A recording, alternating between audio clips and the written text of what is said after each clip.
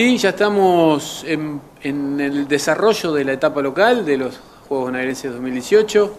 Eh, como vos bien decías, el día 27 se cerró la inscripción, una inscripción que ha sido fantástica desde el, punto de vista de, números.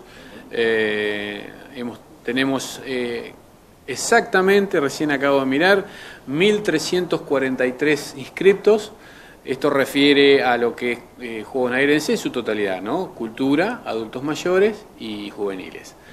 Eh, pero bueno, el, grueso es, de juveniles, eh, no tengo el número exacto, pero debe andar rondando los 1.100 chicos que participan en, en, lo que es deporte. Igual la cifra total en una ciudad no tan grande como la nuestra es para destacar, ¿no?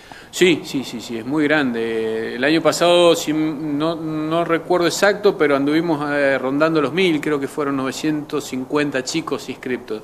Así que el salto es, grande este año en lo que se refiere a participación.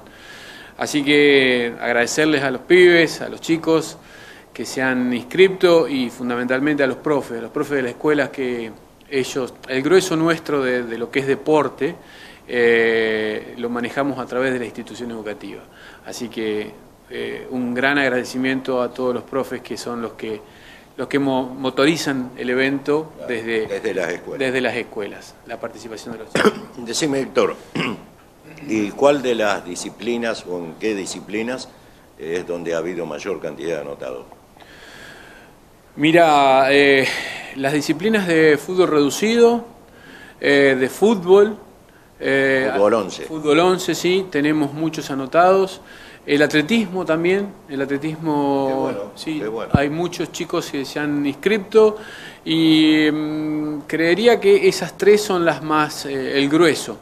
Tenemos una participación muy grande de adultos mayores, eh, para nosotros tener aproximadamente unos 200 adultos mayores inscriptos eh, es, grandioso, eh, es muy importante, así que la jefatura ha estado trabajando muy bien con todas las actividades que viene haciendo y potenciando esto de la participación de ellos.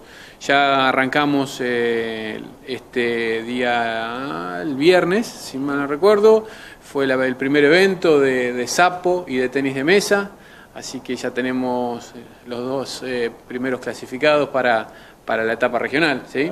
Eh, en sapo y bueno, en, tenis de mesa en realidad hay eh, tres clasificados, una mujer y dos varones.